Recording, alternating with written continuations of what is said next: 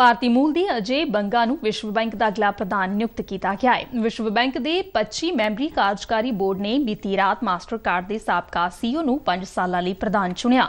ਭਾਰਤੀ ਜੰਪਲ ਅਤੇ ਵਿੱਤ ਅਤੇ ਵਿਕਾਸ ਦੇ ਮਾਹਰ ਅਜੇ ਬੰਗਾ ਨੇ ਕਿਹਾ ਕਿ ਉਹ ਅਜਿਹੇ ਸਮੇਂ ਵਿੱਚ ਵਿਸ਼ਵ ਬੈਂਕ ਨਾਲ ਕੰਮ ਕਰਨ ਨੂੰ ਲੈ ਕੇ ਉਤਸ਼ਾਹਤ ਨੇ, ਜਦੋਂ ਵਿਕਾਸਸ਼ੀਲ ਦੇਸ਼ਾਂ ਨੂੰ ਦਰਪੇਸ਼ ਮੁਸ਼ਕਲ ਵਿਕਾਸ ਚੁਣੌਤੀਆਂ ਨਾਲ ਨਜਿੱਠਣ ਦਾ ਸਾਹਮਣਾ ਕਰਨਾ ਪੈ ਰਿਹਾ ਹੈ। ਦੇ ਬੰਗਾ ਦੀ ਅਮਰੀਕਾ ਦੇ ਰਾਸ਼ਟਰਪਤੀ ਜੋ ਬਾਈਡਨ ਨੇ ਪਿਛਲੇ ਫਰਵਰੀ ਵਿੱਚ ਇਸ ਅਹੁਦੇ ਲਈ ਨਾਮਜ਼ਦ ਕੀਤਾ ਸੀ ਅਤੇ ਉਹ ਇਸ ਅਹੁਦੇ ਲਈ ਇਕਲੌਤੇ ਉਮੀਦਵਾਰ ਸਨ। ਅਜੇ ਬੰਗਾ ਆਪਣਾ ਅਹੁਦਾ 2 ਜੂਨ ਨੂੰ ਸੰਭਾਲਣਗੇ।